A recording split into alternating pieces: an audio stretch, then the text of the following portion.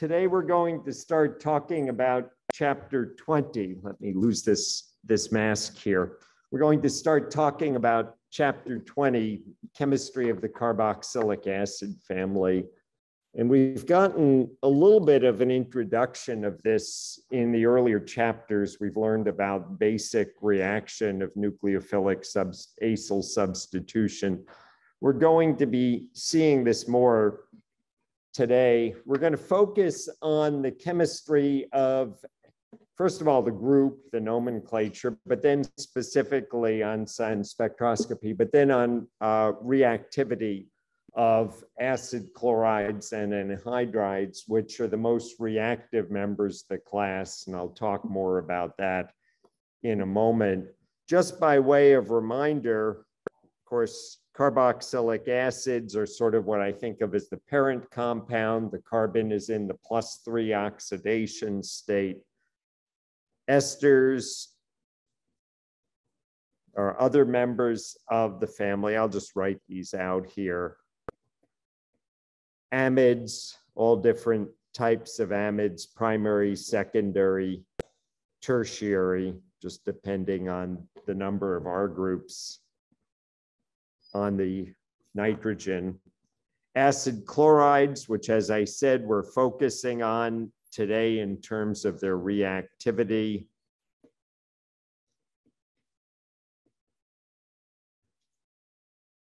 Acid anhydrides, molecules where you've built up, put two carboxylic acids together. The word anhydride, literally anhydrous, removal of water, it's basically two molecules of carboxylic acid together with the removal of one molecule of water, sometimes called acid anhydrides. And then I said before, sort of off as the distant cousin or the cousin nitriles. We've already gotten to see C nitriles. All of these functional groups not only are re related by the oxidation state of the carbon, but they also all can be interconverted by various reactions. And we're going to be seeing that. But basically, it shouldn't surprise you that you can go from one to another with member of the family with suitable reagents, catalysts, and so forth. And you'll be learning some of these reactions. In terms of the nomenclature, let's start with esters. We've already started with, we've already talked about carboxylic acids. We've talked about pentanoic acid and benzoic acid and the casual name acetic acid, which is for the formal name ethanoic acid. But let's start with esters. So in terms of the anatomy, you have portion of the molecule that corresponds to an acid and a portion of the molecule that corresponds to an alcohol. And we'll see the, among other things, the Fischer esterification reaction where you can just heat up a carboxylic acid and an alcohol in the presence of acid and bring them together to form an ester. So literally, it's not just that there are these two parts, they can be made together. So in terms of the name, you get the, shall we say, first name, oops, you get the, the first name of an ester from the alcohol and the last name from the carboxylic acid. So this molecule here is the ethyl ester of butanoic acid. So we call it ethyl butanoate. And you'll notice we've just taken the butanoic and changed that to ATE at the end. So that's your basic, basic nomenclature.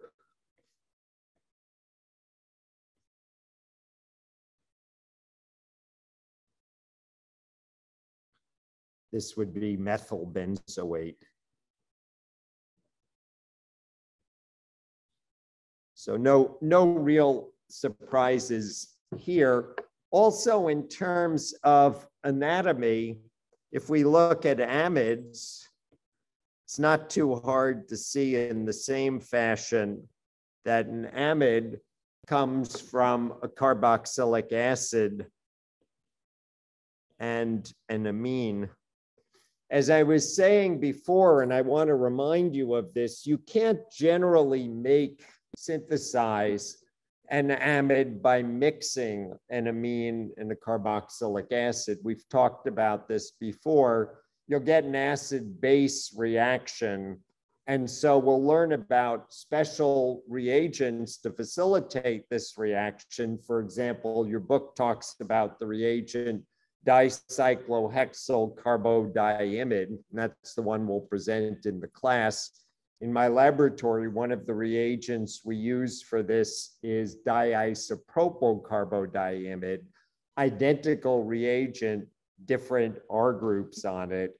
And the reason is the DCC, dicyclohexyl carbodiimide, which um, was originally used is a horrible uh, allergy sensitizer. In fact, one of my lab members developed such horrible allergies to not DCC, but related compounds that she could no longer work in the laboratory. And other people who have worked with it have developed horrible rashes and dermatitis. So for the class, we will use D, DCC. For your research, I suggest you use DIC. Anyway, I'm getting ahead of myself. So in terms of anatomy, this molecule, which comes from hexanoic acid, becomes hexanamide. Oops.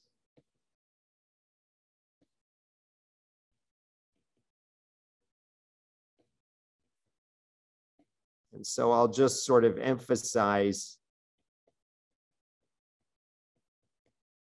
what we've done. We've simply substituted the last oic acid. Hexanamide is what we would call a primary amide.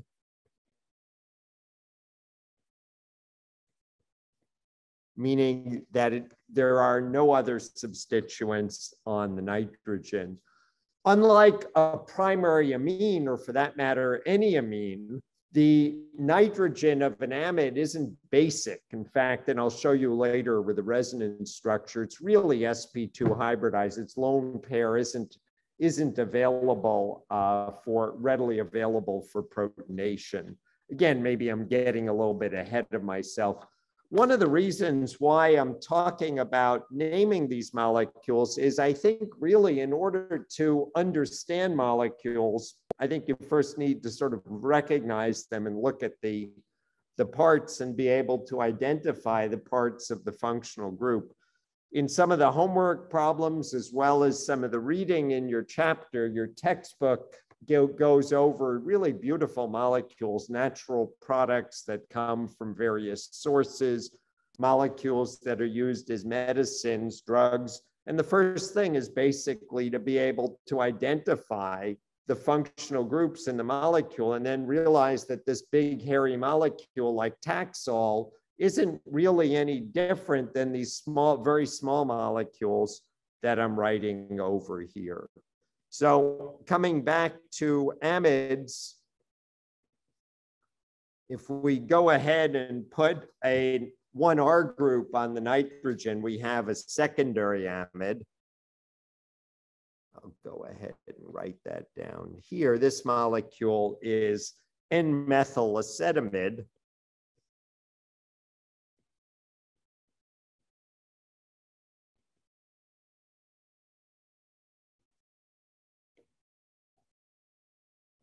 So as I said, it's a secondary.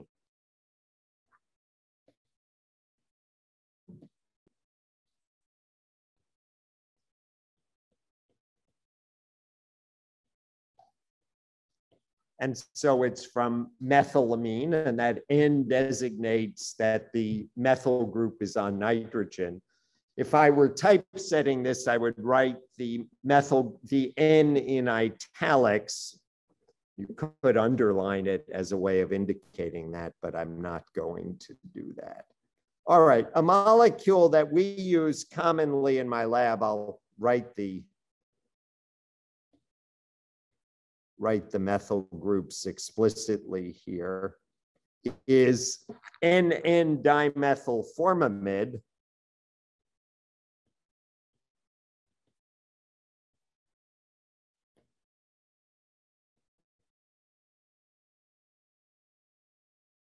It's commonly used as a solvent. It's a tertiary amide. You'll notice there are no hydrogens on nitrogen.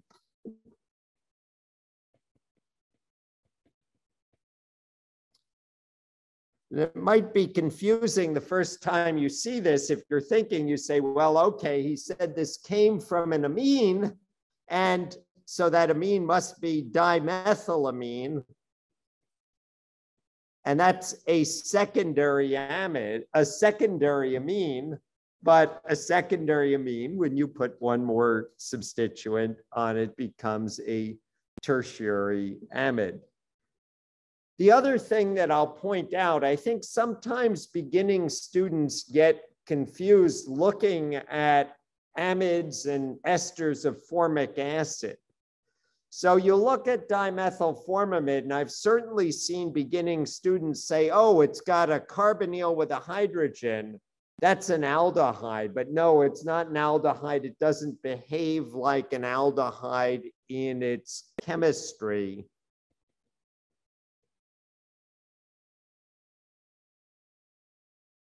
So an aldehyde, for example, would react readily with amines to form imines.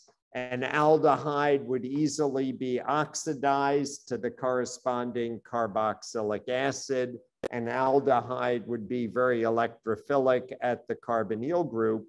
And an aldehyde would have an absorption in the IR for the carbonyl stretch about 1725 or thereabouts wave numbers, maybe 17, 1720 wave numbers or thereabouts.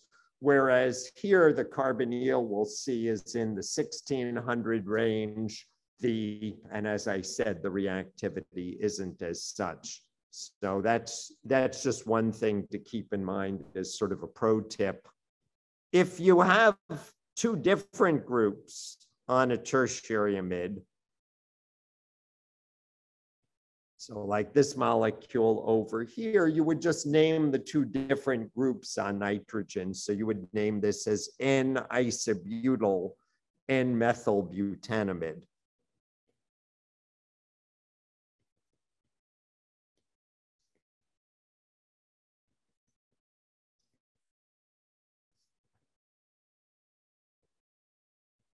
I'm alphabetizing the groups. So isobutyl I comes before methyl M.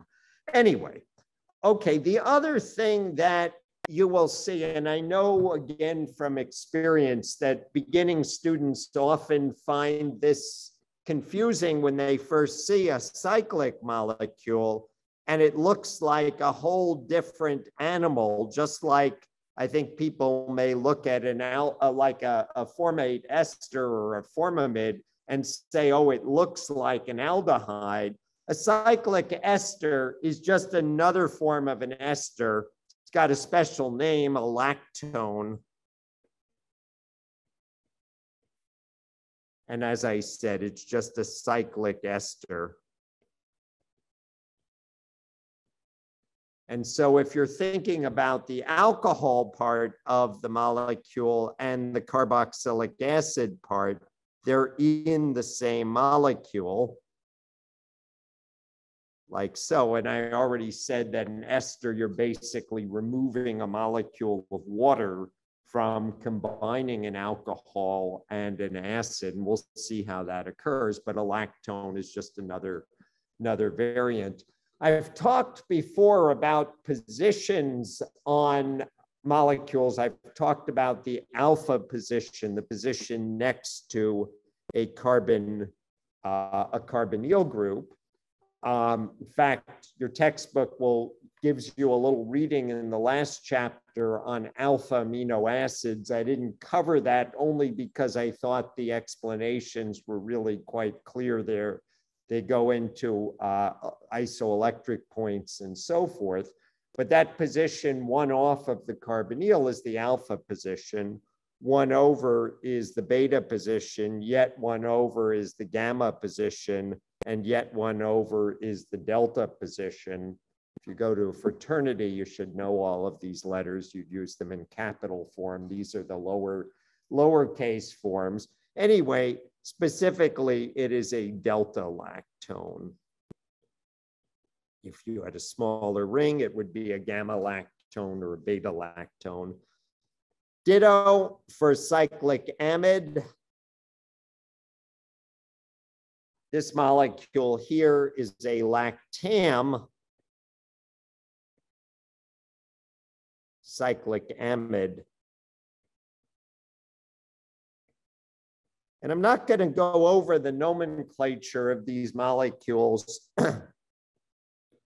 only because they actually get named as the corresponding heterocycle if you want to be formal about it.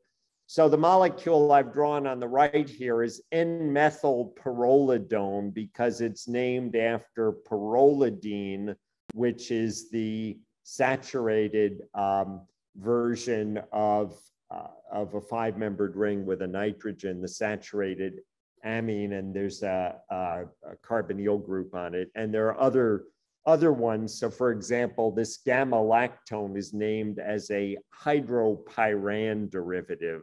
But let's just recognize that these are just a flavor of ester and a flavor of amide. There are slight differences in reactivity of the cyclic molecules, particularly the cyclic esters. They tend to be a little bit more electrophilic.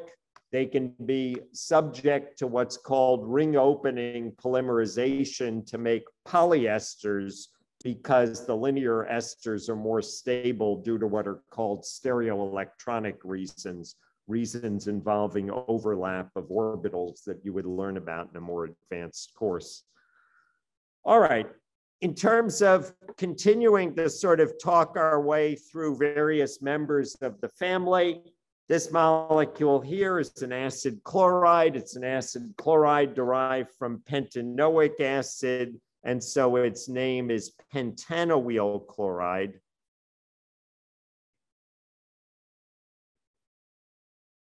And again, you would see the OYL coming from pentanoic acid.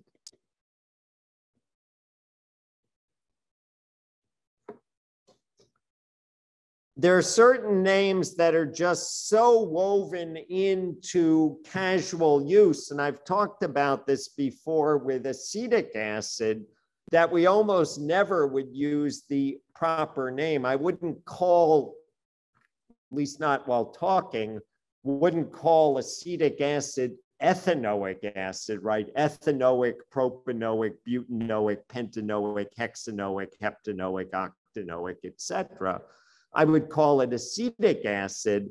And this molecule, although it would be ethanoyl chloride, everyone would call it acetyl chloride. And that's just sort of basic literacy. For anhydrides, they get named from the acid from which they are created by the removal of water. So this anhydride here is comes from benzoic acid, so it's called benzoic anhydride.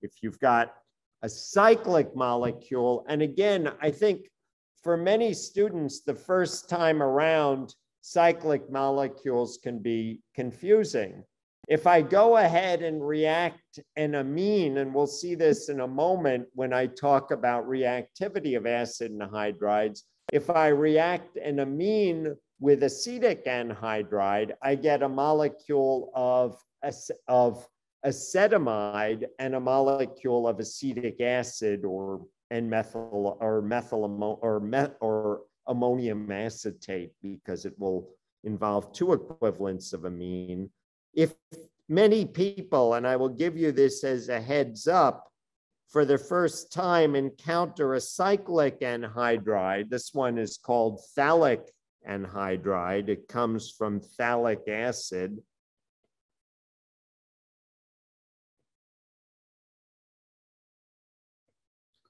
if they try to think for the first time about what happens about with that molecule reacting with a nucleophile, the first time they may get confused. Well, the nucleophile, as we'll see, is going to add to the one, one of the carbonyl groups and the ring will break open. Uh, if I allowed phthalic anhydride to react with ammonia, I'd get an amide group on one side and I'd get the carboxylic acid, or as I said more specifically, the acetamide, the amide on the other hand. I'll just show you what I'm talking about.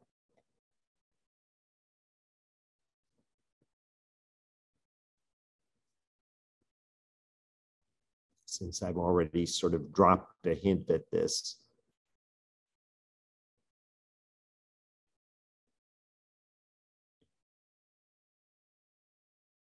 So anyway, we will come to this in a moment. So I think I think that's all I wanted to talk about naming these molecules. And as I said, this is really for us to be able to understand and to internalize what these molecules are. Any questions at this point?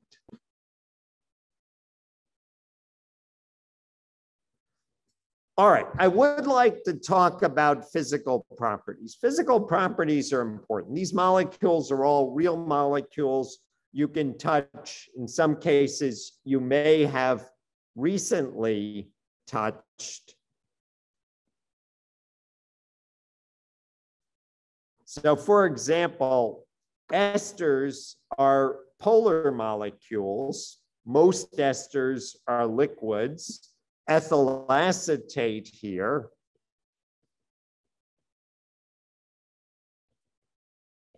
is a liquid. It's got a boiling point of 77 degrees Celsius. Many esters have sort of noticeable odors that are often pleasant and kind of kind of sweet. If you've ever smelled nail polish remover, one of the smells typically in there is ethyl acetate. Uh, if you've ever smelled any sort of uh, solvent that smells kind of like bananas, that's isoamyl acetate. Uh, wintergreen gets its characteristic smell from methyl salicylate, the methyl ester of salicylic acid, which is orthohydroxybenzoic acid. So again, this pleasant, uh, you know, but slightly pungent odor. I believe on many of these markers here, you'll have a solvent that's an ester like ethyl acetate, although now they're trying to have less volatile organic compounds in all sorts of things in paint and markers and so forth not necessarily because the solvents are toxic, but because they contribute to smog and air pollution. So often the photochemical products of reaction of oxygen and light with organic solvents generates more toxic products or just uh, products that can be uh, damaging in the atmosphere. Anyway, the liquid is, uh, is as I said, has a boiling point of 77 degrees. Now, just to put this into context, if we look at a molecule of similar molecular weight like hexane, the boiling point is 69 degrees. If we look at a molecule of similar molecular weight and shape, again, a non-polar molecule, we, uh, and again, I'll just point out that hexane is a liquid. So if we look at 2-methyl pentane, it's also a liquid. And it's because it's more compact, you get less van der Waals interaction. Its boiling point is 60 degrees. So the extra difference, the reason that ethyl acetate has a higher boiling point than say 2-methyl pentane is that you get extra dipole-dipole interactions.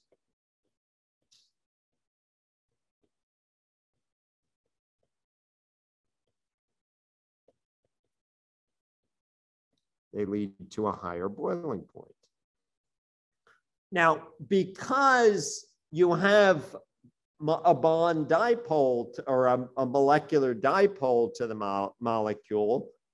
Ethyl acetate, because it's a polar molecule and because it has not too many carbons in it, in other words, it's not too greasy, often people will look at the carbon to oxygen ratio and use four as sort of a magic number for cutoff on solubility. So here we have four carbons to two oxygens, so the ratio is, is two. The molecule is soluble in water and in fact has a moderate solubility of 8.3 grams per 100 mils in water. So that means that if you're in the laboratory and you're doing a liquid-liquid extraction, it's fine. You'll get a separate phase, a separate layer for ethyl acetate in your separatory funnel, for water in your separatory funnel, but there will be a little bit of ethyl acetate in the water and water in the ethyl acetate if you're trying to do a liquid-liquid extraction to isolate a product, you would take the organic layer, which presumably would dissolve your non-polar product, and you discard the aqueous layer. You then dry your organic layer over magnesium sulfate or sodium sulfate in order to then uh, prepare it for removal of the ethyl acetate and isolation of your product. And in terms of the, the dipole, on the one hand, you can just say, okay, I kind of get it that oxygen is more electronegative than carbon. But I think it's really useful to think about resonance structures because I think they really show you the molecular dipole very well. And it also helps us think about reactivity and other properties of the molecule. I said that esters are less reactive than ketones or aldehydes when I presented all of the carbonyl groups, all of the members of the carbonyl family. And we can think about three different resonance structures for an ester group.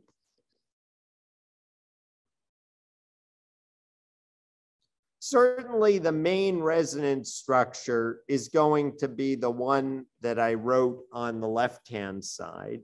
But to make a more complete set, we can recognize that the carbonyl group is not share and share alike. Oxygen, it's a polar covalent bond.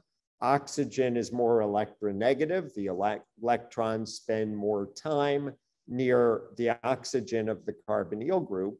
But then, uh, and so I can write the second resonance structure, but then the third, oxy the other oxygen has a pair of electrons to share. And so I can write yet another resonance structure like so. And together, these make up a more complete picture of the ester group. They show some of that polarity in the molecule. You can see how it can interact with polar molecules. And I'll just remind us that these two structures here are minor resonance structures.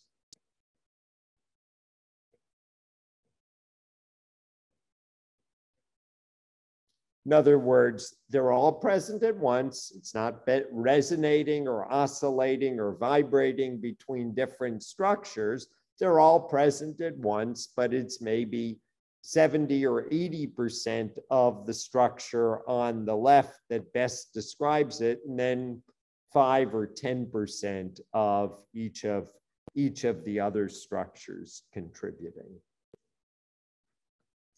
Amides are even more polar than esters. Part of that has to do with the nitrogen being able to donate in it's less the uh, the nitrogen of the amide donating in even better to the carbonyl group. We'll see that also in the IR spectrum. But let's start with a primary amide. So let's start with acetamide as an example. Acetamide, although it's a really small organic molecule, is a solid got a melting point of 82 degrees. and it's got a boiling point of 221 degrees. That's high.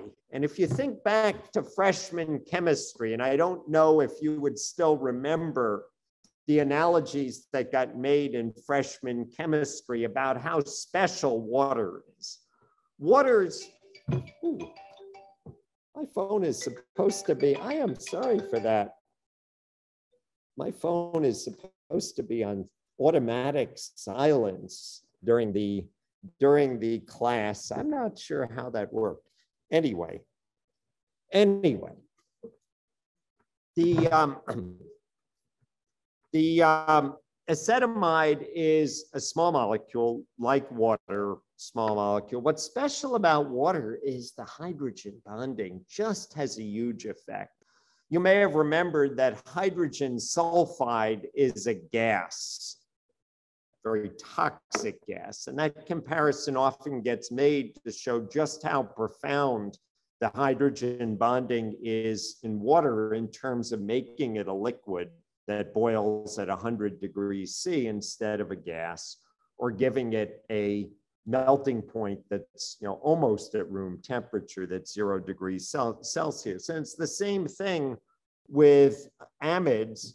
Acetamide is very good at hydrogen bonding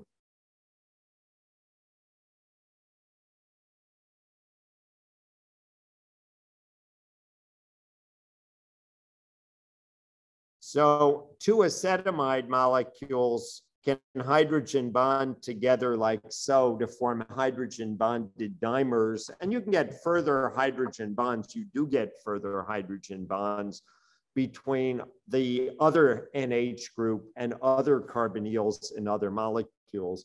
So this means although the molecule is small, they stick together through hydrogen bonding, and this leads to a higher melting point and a higher boiling point than you would expect.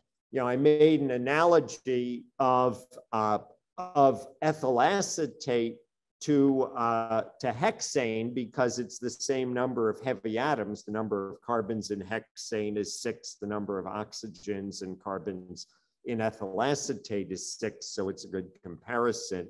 In the case of acetamide, we have four heavy atoms. And if you compare that to butane, which is a gas at room temperature and has a boiling point of you know, roughly zero Celsius, um, so you have to compress it to make it a liquid in your cigarette lighters, that's a huge difference in properties associated with that extra hydrogen bonding. Even in the case of NN dimethylformamide, where you no longer have hydrogen bonding, you still have a very high boiling point for a molecule of such small size. There are only five carbon at five heavy atoms, five, you know, carbon plus uh, plus oxygen plus nitrogen in acetamide, and yet it's a liquid with a boiling point of 153 degrees. It decomposes. If you heat it, it, um, it does uh, break down. It's also miscible with water.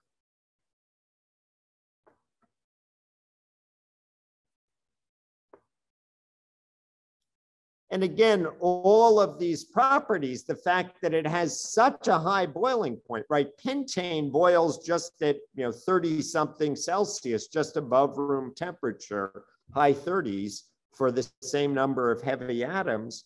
Um, and yet dimethyl acetamide boils at such a high temperature and you can look at that and say, okay, I'm only going to write, remember, I can write two other resonance structures. I'll only write one of the minor resonance structures. But when I write this resonance structure, we see again that you have a big polar component to the structure of the molecule. Again, this kind of rule of four applies very well. So if I was looking at a molecule like uh, dimethylacetamide. It's got four carbons to two polar atoms, two oxygens and nitrogens. So it shouldn't surprise me that it's miscible with water. It's a liquid with a boiling point of 165. And again, it's miscible with water. I would at least expect it to be soluble. Questions or thoughts at this point?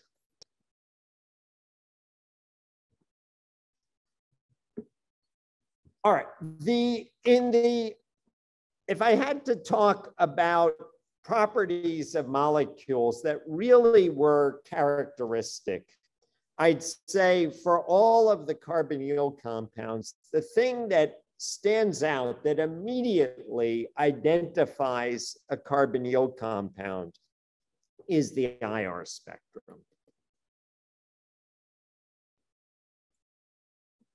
carbonyl groups always have a strong and prominent CO double bond stretch.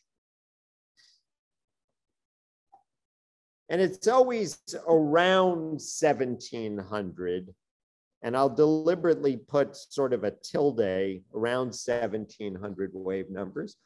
But the exact carbonyl compound flavors where the carbonyl group is at. So for example, in an amide, the carbonyl group is about 1660 wave numbers. It's at a lower frequency than that of a sort of typical generic carbonyl group, like a ketone would be at about 1715, say, for acetone.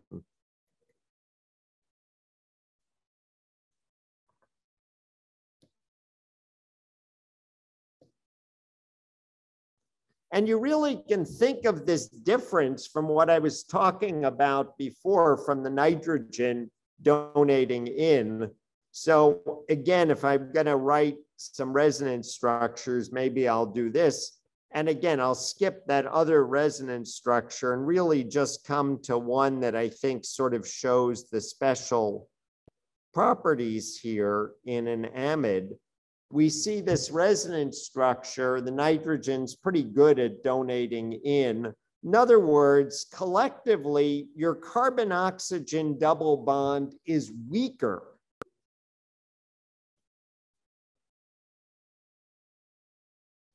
than that of a ketone.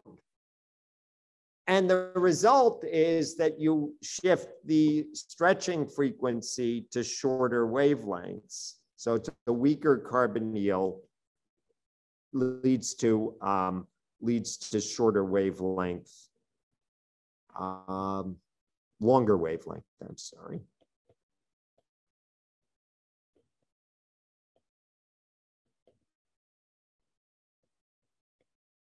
Lower wave numbers.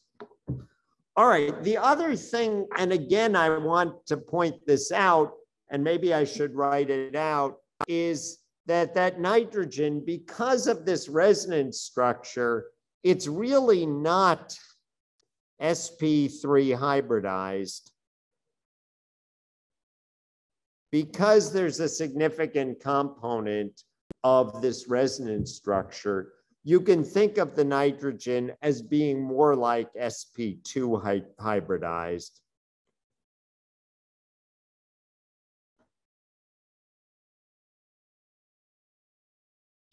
If I wanted to be more exact, it's somewhere between SP2 and SP3, but close enough to SP2 that you can think of it as SP2 hybridized. Now, I mentioned before when we've talked about electronegative atoms like nitrogen and oxygen, it's often a little confusing the first time around because you say, well, wait a second, nitrogen's more electronegative than oxygen, isn't it pulling electrons away rather than giving back? And it's doing both. It is pulling through the sigma bond, but it's doing more than its share of giving. So it's taking through the sigma bond. but it's doing more than its share of giving through the pi bond, through this resonance structure. In the case of oxygen, which is more electronegative than nitrogen, it does, at least as far as the IR spectrum, take a little bit more than it gives. But in terms of the weakness of the carbonyl, it's still uh, it's still a, a less reactive carbonyl.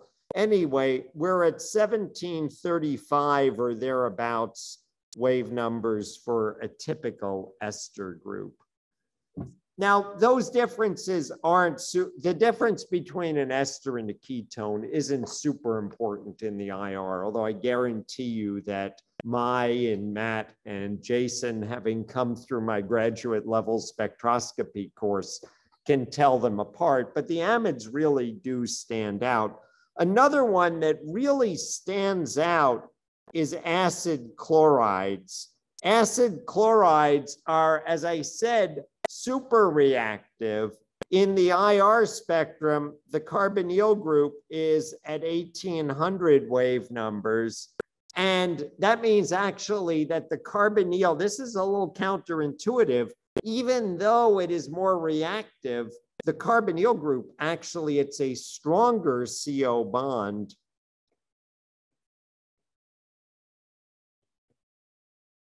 And you can kind of think of it this way you can think that the chlorine is doing more taking than it's giving. Not only is chlorine electronegative, but chlorine is in the third row of the periodic table, which doesn't do pi bonding very well and doesn't overlap with carbon very well.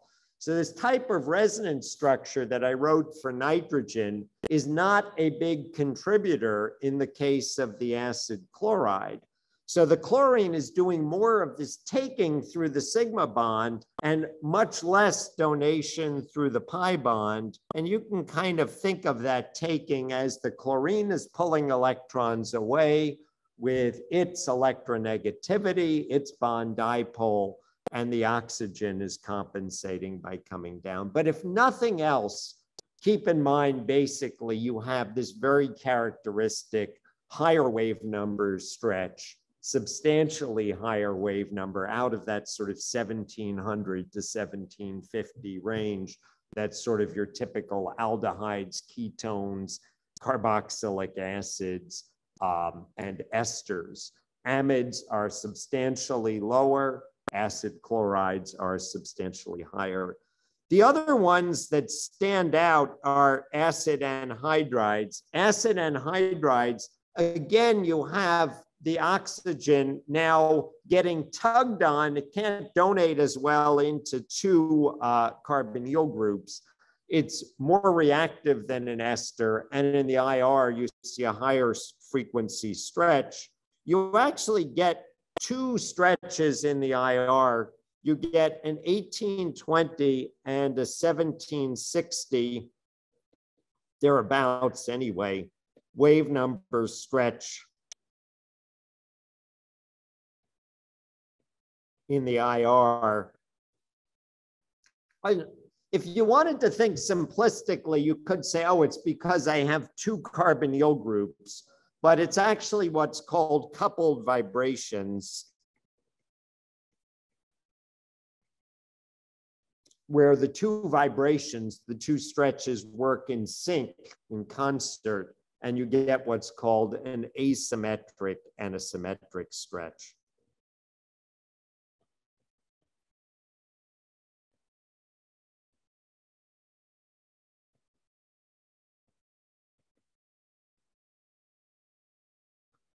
I've assigned some homework and you'll get a chance to see more of the spectra of the molecules that we're talking about in this chapter when you get to the part of the homework. I don't want to say much about the NMR. We already talked about the NMR of the methyl group in, say, ketones and aldehydes. And I said, okay, sort of a generic rule of thumb, and this really applies to pretty much all carbonyl compounds, is if you have a methyl group alpha to the carbonyl, that term alpha, that term alpha comes up again If you have a methyl group alpha to the carbonyl, you, it shows up at about 2 ppm for the methyl group. And if you have a CH, it's at about, you know, so if it's a CH of some sort, it's somewhere between 2 and 2.5 or 3 parts per million. And that's, of course, in the H1 NMR. And again, sort of in general, in the C13 NMR, to sort of generalize all of these, I would say your carbonyl is about 160 to 180 um, ppm in the C13 NMR.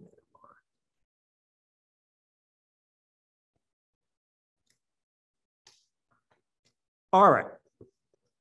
Any questions at this point about the spectroscopic or other properties of the uh, carboxylic acid family members? Yeah.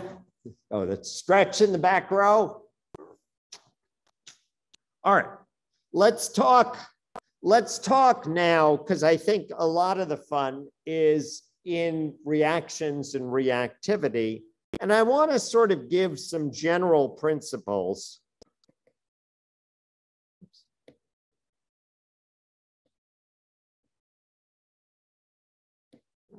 Making a mess of this.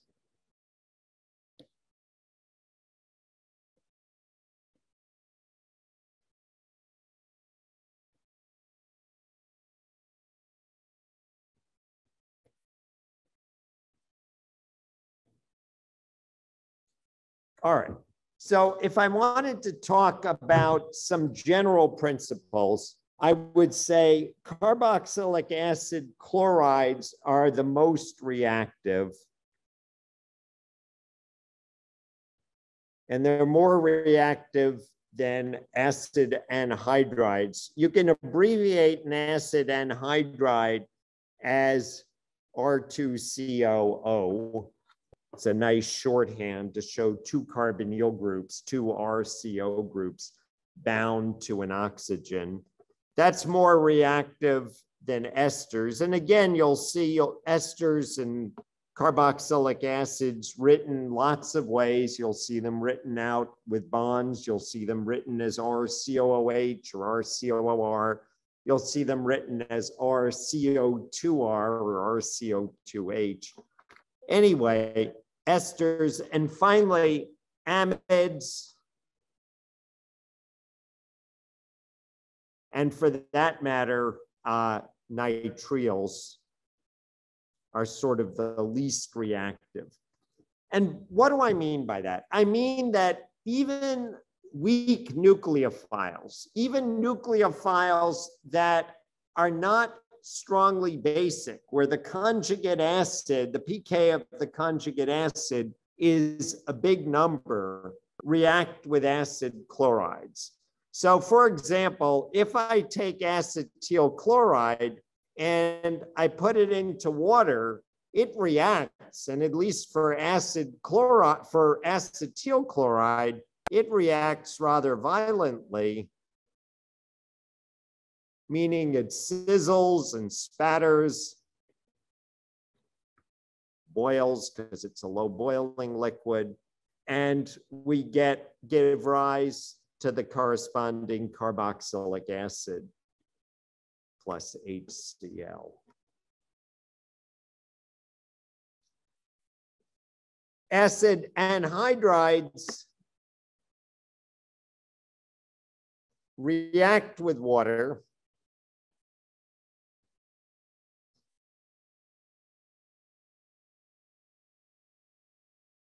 and you get the corresponding carboxylic acid. So for example, one molecule of acetic anhydride yields two molecules of acetic acid. That's why we're going to be talking about acid chlorides and acid anhydrides together because they sort of share common reactivity. Esters, for the most part, don't react with water. If I had to characterize the reaction of esters with water, I'd say no reaction. Ethyl acetate doesn't hydrolyze in water. It's not quite true. If I dissolve up ethyl acetate in water and come back a year later or a month later, some of it will be ethyl alcohol, some of it will be acetic acid, but nothing that occurs sort of rapidly on the I mix them together and a few hours later is a reaction, a reaction has occurred. Amides, even more so, amides are the proteins in your body. Amides are the lens in your eye where those proteins are around your entire life. So in other words, amides just do not react with water, right? You'd be in big trouble if the water in your tears hydrolyzed the lens of your eyes during the course of your lifetime. You may get cataracts, but you're not going to have your lens dissolve. So proteins and amides last even longer.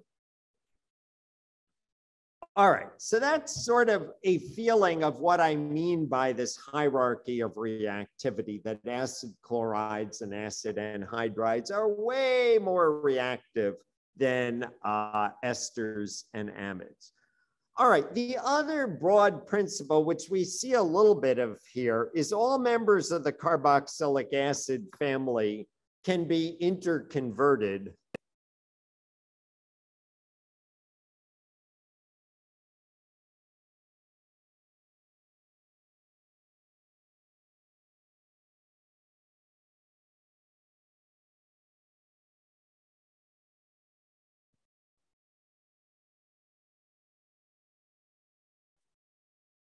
with suitable reagents, catalysts, etc.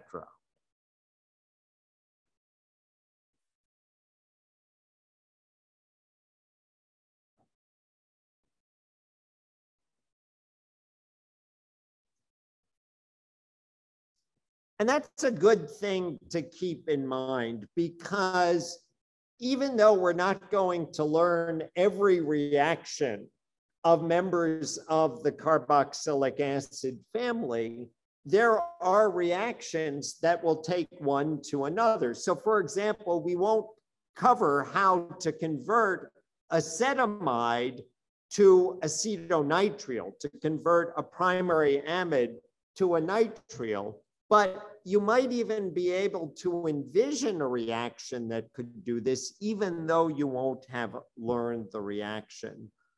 The general principle that we will talk about is if we have a generic member of the carboxylic acid family, I'll just write it as RCOX, and a nucleophile, I'll write it as NU minus or NUH,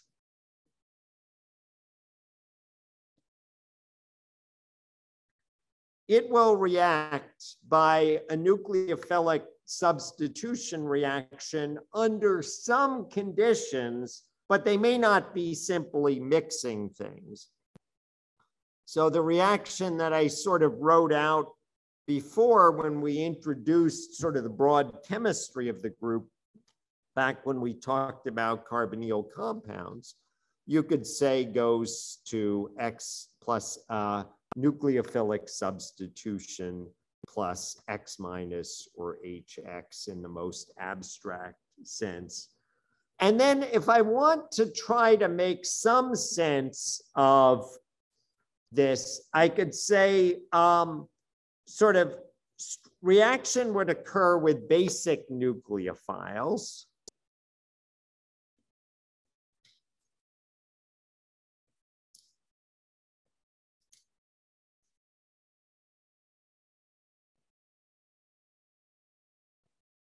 So in other words, species like hydroxide or, um, or alkoxide or um, even amines, under some conditions, generally can react, although as I pointed out, in the case of carboxylic acids, amines are going to just generate a salt. But again, that's a reaction. Um, so in other words, basically, whether it's um, an ester or whether it's an acid chloride, hydroxide or alkoxide or dimethylamine is going to react under some conditions just by mixing them.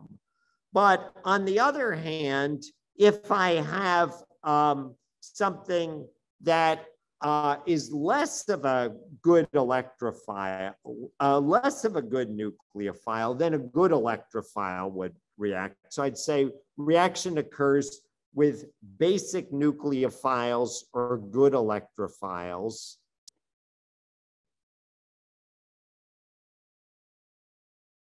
meaning uh, really acid chlorides or acid anhydrides.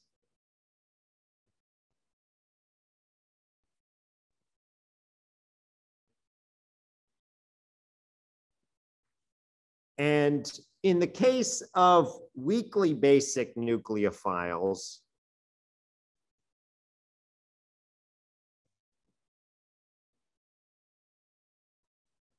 if these abstractions don't completely make sense now, don't worry, this is an overarch of what we're about to see in the rest of the chapter.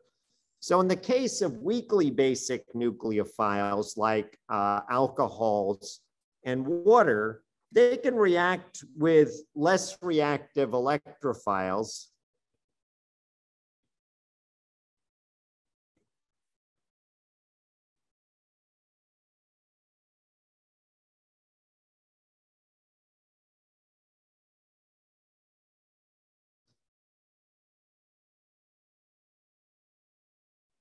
with strong acid catalysis.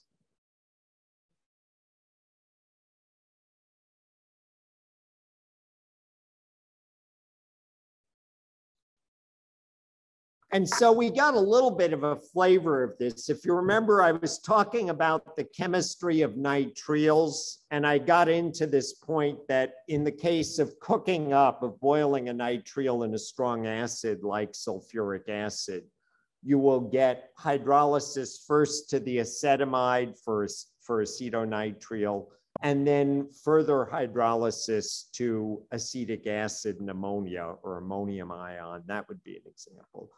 All right, let's start in though with some concrete examples because I think that's going to help make sense of all of this. So let's take a look at an incontroversially reactive electrophile. Acetyl chloride, I just said, sizzles with water. So even a weak nucleophile it reacts with. And let's take a look at the reaction with dimethylamine. So dimethylamine and acetyl chloride reacts to form dimethyl acetamide. And if I wanted to write a really balanced equation and sort of really figure things out, I would probably say two molecules of di, whoops, two molecules of dimethylamine react with acetyl chloride to give a molecule of diethyl acet dimethyl acetamide plus a molecule of dimethyl ammonium chloride. That's a lousy CL. I'm going to write it a little less stylized. All right. So that's an example of where we're going. Now, in terms of getting there, you already have all of the skills you need to think your way through this reaction. And so much of figuring out how reactions occur is looking at what's the nucleophile, what's the electrophile, and thinking about how they come together to form bonds. In other words, you don't have to memorize your way through a reaction mechanism. You can just think your way through to write a reasonable reaction mechanism. And so if you look at an acid chloride, and we've already talked about this, the carbonyl group is very electrophilic. Dimethylamine, I've mentioned, is a good nucleophile. It's got a lone pair of electrons that it would like to share. It's set up to go ahead and attack the carbonyl group. That arrow means electrons are flowing from the nitrogen to the carbonyl group. The other arrow means electrons are flowing up onto the oxygen. In other words, once this reaction occurs, we generate a species that's not going to be a final stable species. It's going to be a transient species or intermediate in which that trigonal carbon now has four substituents around it. It is now tetrahedral.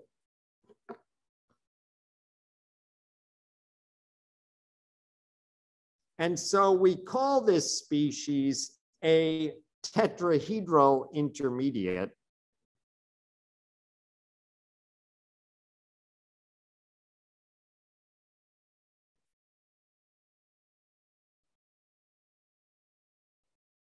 The tetrahedral intermediate is not stable in part because the carbonyl group is very stable. The carbonyl bond overall is always very, very strong.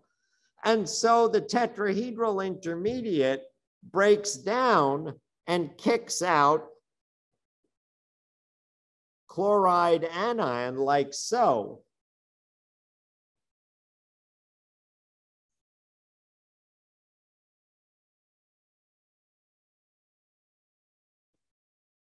To give you back your carbonyl group so I'll write this as minus Cl minus.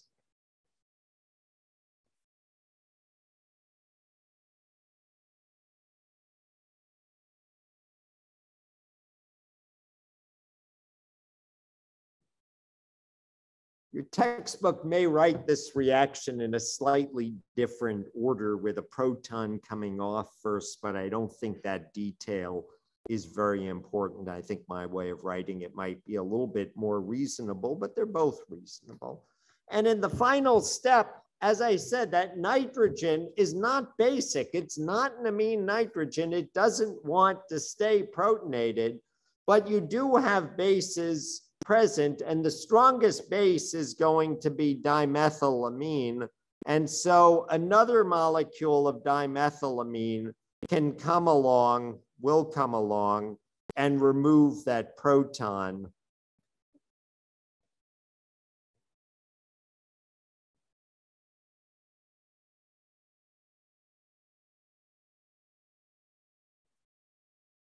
to give you a dimethyl ammonium ion and your, your amide.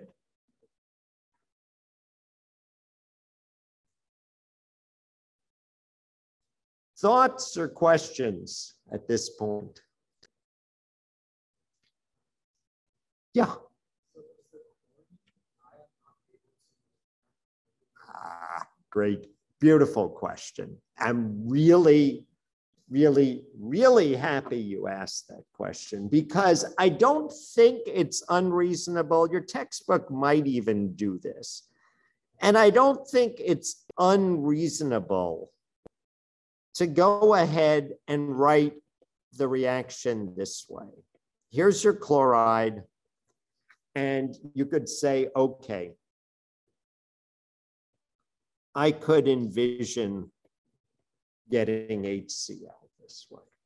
Now, the reason I think about this as the nitrogen doing this, they're both reasonable, is chloride is very weakly basic there's going to be another molecule of amine present. Chlorine is very weakly basic, and a very good metric of this is the pKa of the conjugate acid. The pKa of HCl is somewhere around, I think it's negative seven listed in your textbook or negative six, somewhere very, very far to the negatives. The pKa of dimethyl ammonium is on the order of 10 or 11. In other words, remember, pKa becomes the surrogate, pKa of the conjugate acid becomes a surrogate for the basicity of the base. Dimethylamine is 10 to the 17th times more basic than hydrogen chloride. And so if you envision a competition with dimethylamine or chloride, the dimethylamine is going to win. But I don't think it's completely unreasonable to write chloride coming off this way. In fact, sometimes what I will do, particularly, particularly if I'm among my my research group and we're just sort of talking, is just write it as minus H plus. I don't recommend that at this stage in the game in writing mechanisms because I think you want to sort of go slow. And as I said on problem two on the exam, I was really happy to see everyone, do a nice job. Almost everyone do a nice job. But this is one way you could think about it. Great question. Other questions, other thoughts? All right, now for this very reason, Okay, dimethylamine is readily available, but for this very reason, often you want to use a sacrificial base. And so sometimes we add an, an extra base like triethylamine or pyridine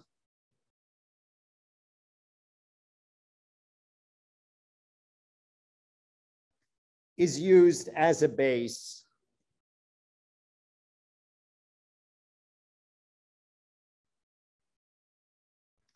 to allow one equivalent of the amine to be used.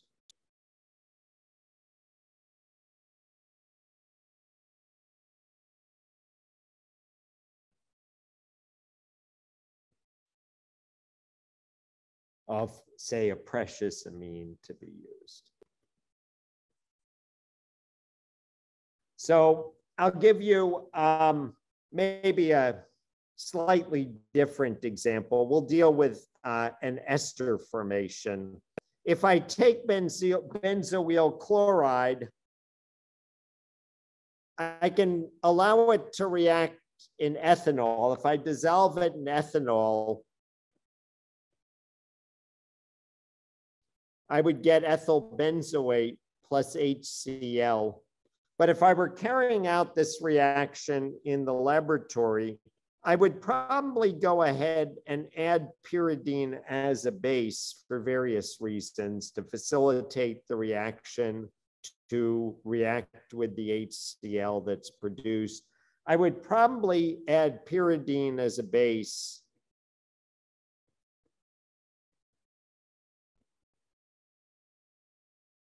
And again, organic chemists are terribly bad about writing byproducts of reaction, but we would generate the pyridinium hydrochloride as our byproduct of reaction.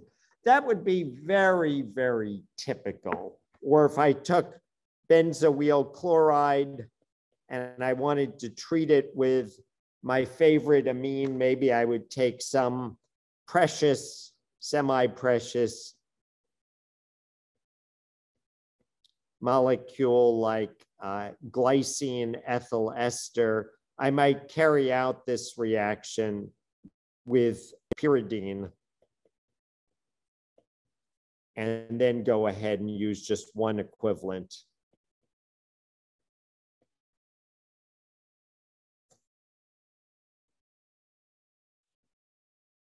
to generate this amide here.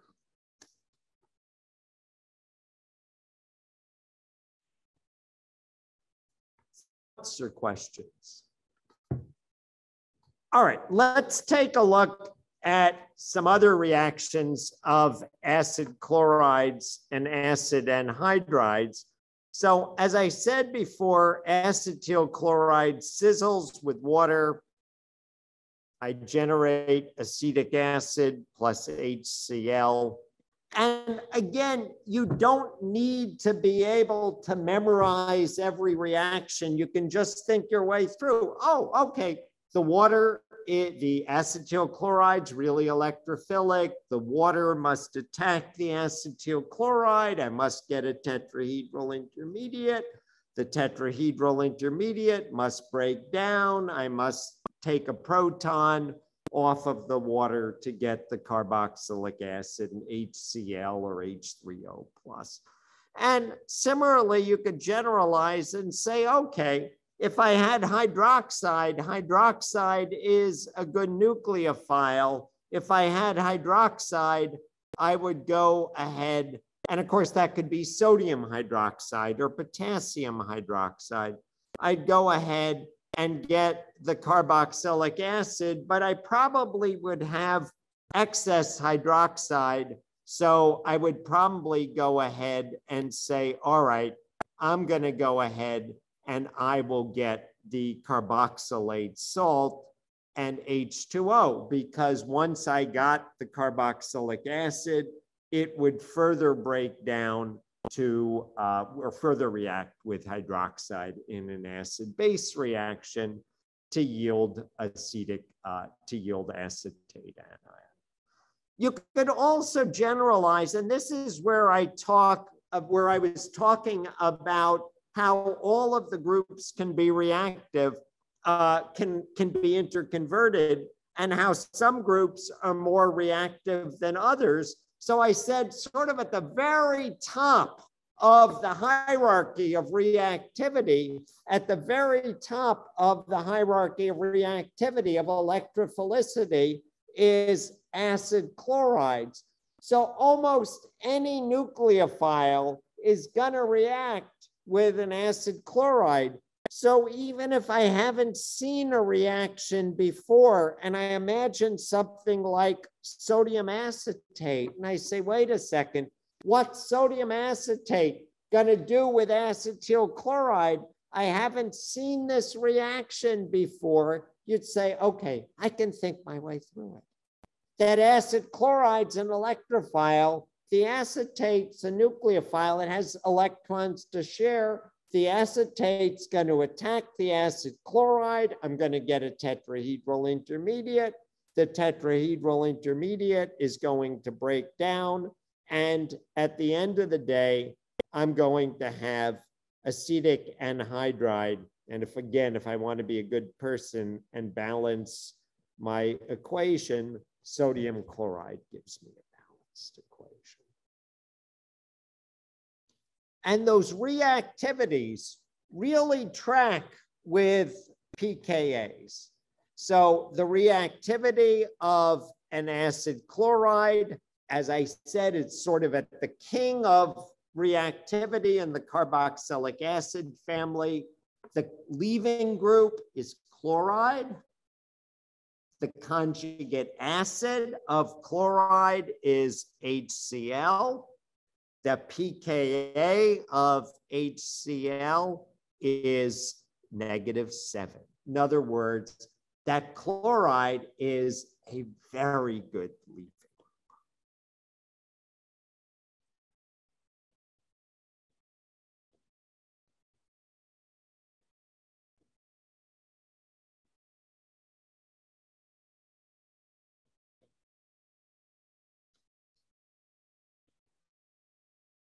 the acid chloride is very reactive with electrophiles.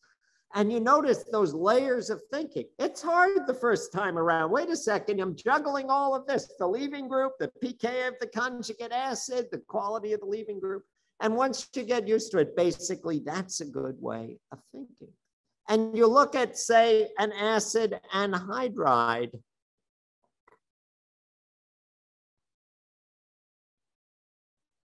and you say, okay, same thought processes. Our leaving group is the acetate or the carboxylate anion. The conjugate acid is a carboxylic acid. The pKa is four to five. And so you compare negative seven to four to five, and you say, wow, that leaving group is many orders of magnitude better. It's 11, 12 orders of magnitude better leaving group. No wonder those acid chlorides are so, so reactive. We come along to an ester And again, you think in the same way, okay, our leaving group is the alcohol. The pKa of the alcohol is 16 to 18. Again, like huge number, like 12 orders of magnitude difference in reactivity. Again, why an acid anhydride reacts with water. An acid chloride sizzles in water, reacts more rapidly but an ester for the most part sits there. And down sort of at the very bottom of the hierarchy, if you look at an amide, and again, you consider the pKa of the conjugate base of the leaving group, and the pKa is about negative 38 or negative, uh, is about 38 or 40. Again, you'd say, okay, now much less reactive. And we even saw this in various reactions with, um, say, hydride nucleophiles, where a hydride nucleophile was uh, like sodium borohydride would be good enough to reduce an acid chloride or a ketone or aldehyde, which I said are more reactive than esters, but not good enough to reduce an ester, why we had to go to a much stronger reducing agent like lithium aluminum hydride. And it's all the same principle. Questions, thoughts?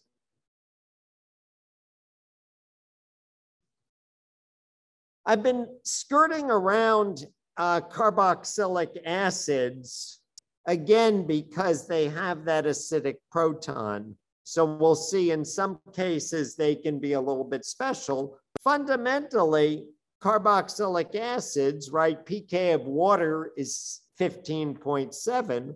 So carboxylic acids are like esters, but with a base, remember we get acid base chemistry. So if you add, say, an amine to a carboxylic acid, then you get the corresponding carboxylate anion. And here you'd say, oh, okay, now I have to think of the conjugate base of O minus, I have to think of the leaving group, right? The leaving group would be O 2 minus, and that's just not, not a leaving group, right?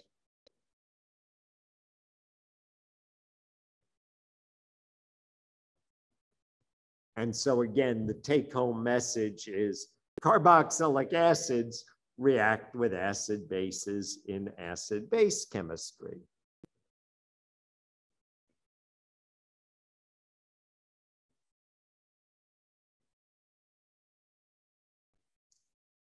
Oops, as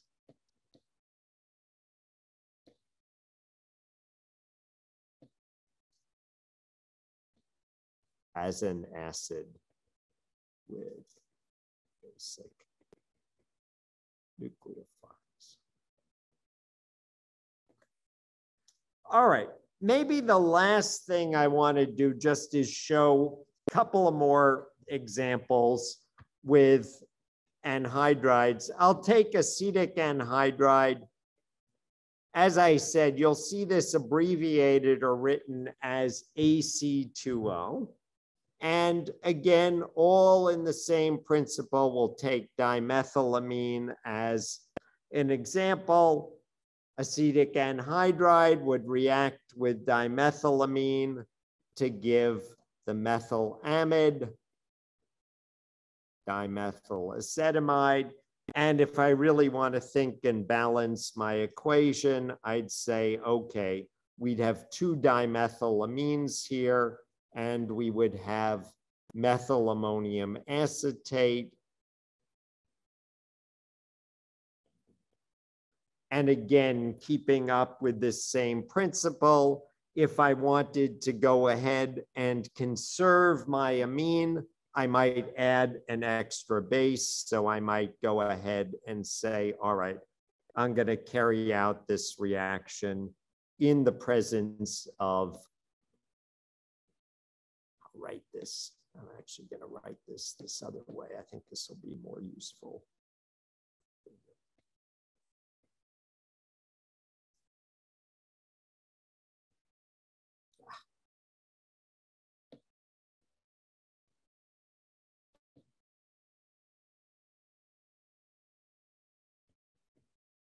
I might carry out this reaction in the presence of pyridine. Oops, I am not doing well here.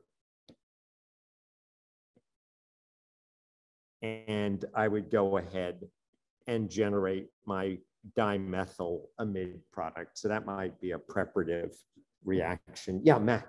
So yeah. So regarding uh, acid bromides, Ah, okay. We will finish with a question from the chat. And we've come to the end. So the, the question is about acid fluorides and acid bromides. And the short answer is yes. Both of these compounds react in a very similar fashion to acid chlorides. Slight differences, fluorine donates in a little bit more, but is electronegative, but very electronegative. Bromine overlaps, pi donates even less. So yes, for first order approximation, all of these react like acid chlorides in their reactivity. And a great example of generalization in practice, not nearly as widely used in preparative organic, synthetic organic chemistry, but absolutely great question. Kudos on the chat. Have a great day. We will pick up next time uh, talking about our continuing our discussion of reactions of the carboxylic acid family. Have a good weekend. Bye now.